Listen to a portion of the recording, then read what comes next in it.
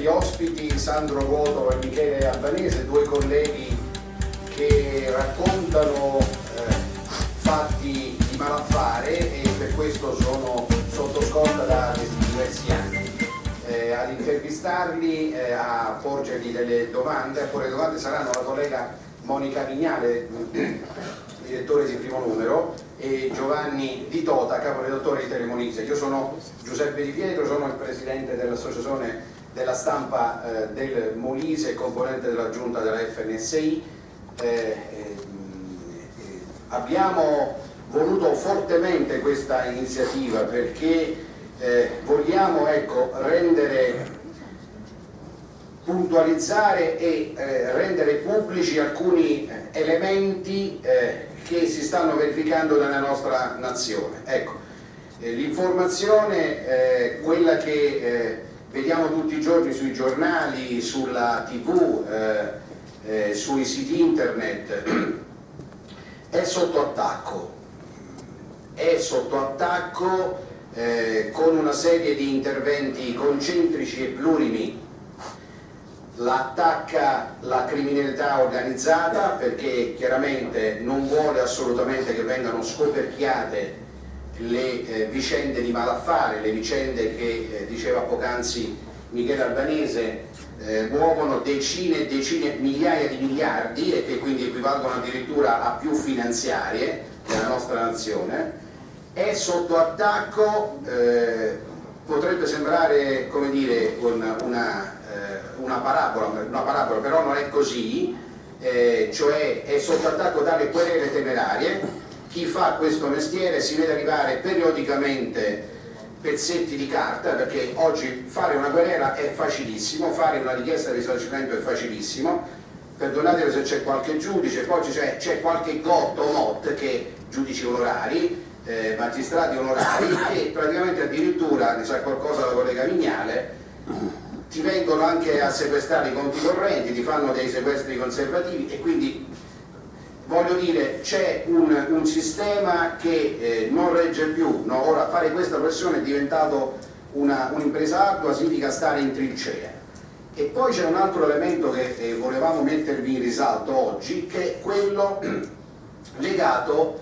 alla crisi del settore e quindi al finanziamento dell'informazione. Dell Voglio darvi una, un numero per far capire la differenza tra altri stati e l'Italia.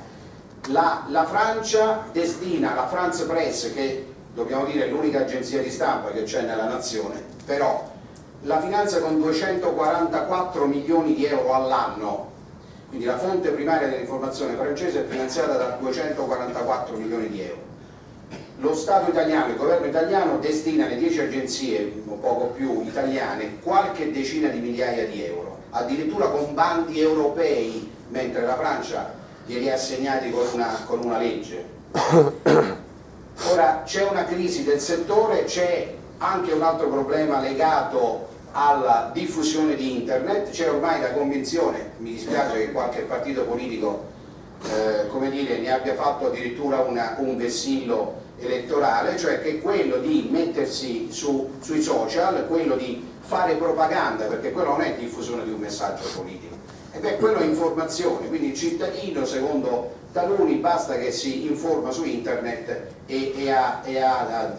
ha, ha, soddisfatto la propria, il, la, la propria esigenza di avere, di avere l'informazione. No, l'informazione si ha attraverso un giornalista che un operatore qualificato, ha studiato, sa di bilanci, sa di eh, diritto penale, di diritto civile, sa del diritto di cronaca, sa delle leggi che tutelano le privacy e i minori, ecco, quindi la, non si può relegare l'informazione professionale di qualità al primo venuto, al pari di qualsiasi altra professione. Fare ingegnere, fare il medico e fare il giornalista, guardate, è la stessissima cosa, anche per le implicazioni di, di quello che avevo detto. E allora dicevamo, torniamo a bomba, c'è un problema di finanziamento, soprattutto in un momento di crisi come questo, del pluralismo informativo. Nella cosiddetta Prima Repubblica i partiti avevano deciso che le fonti della, della propria parte dovessero essere finanziate, dovevano avere un contributo pubblico. Perché? Perché l'informazione è un bene pubblico tutelato dalla Costituzione. Eh, oggi tutto questo, come vi ho detto, non, non avviene e addirittura c'è una minaccia seria, concreta, virulenta e anche molto perniciosa nei confronti del nostro settore. Eh, oggi noi vogliamo accendere un faro su questi temi, lo faremo, ripeto, con le domande del, dei nostri colleghi e eh, se eh, chi vorrà anche de, de, della, dalla sala. E io mi fermo qua, voglio però eh, chiamare il sindaco di Campobasso, nonché il presidente della provincia Antonio Battista, che ci ha eh, onorato della sua presenza e eh, al quale chiediamo un, un saluto ai lavori. Insomma, il saluto a te, ti ringrazio per l'organizzazione, ci siamo tenuti anche in contatto in queste settimane, ai due importantissimi ospiti, Sandro, Sandro Ruotolo e eh, Michele Albanese, eh, tre considerazioni veramente brevissime. Sembra, sembra eh, banale che occorra ancora parlare di libertà di stampa, che però oggi viene messa puntualmente in discussione. Quella della sottrazione dei fondi alla, alla stampa, in modo particolare a quella locale, io eh, eh, lo vedo come il pericolo più grande ci dovremmo rifare soltanto a un, a un determinato tipo di informazione che spesso non copre, che spesso, non, che spesso risponde alle logiche dei partiti e eh, risponde anche alle logiche dei governi che si succedono. La seconda considerazione, le pressioni, la delinquenza